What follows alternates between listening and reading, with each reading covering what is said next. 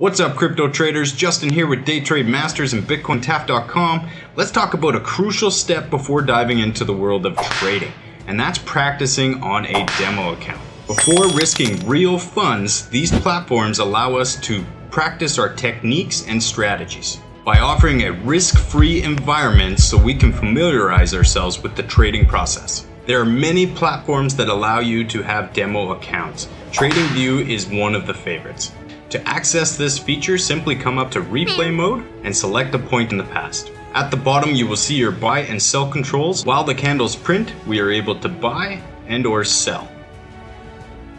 Once replay mode has hit the current date, you will get your results. It is highly recommended to use this opportunity to refine your strategies, test different approaches, all while building up those trading skills. This step is invaluable for gaining confidence in your trading decisions while honing your skills. Practice makes perfect. For more education tips and tricks, follow and subscribe to Day Trade Masters and BitcoinTAF.com. Share this with anyone looking to get started in trading. Happy learning, everyone.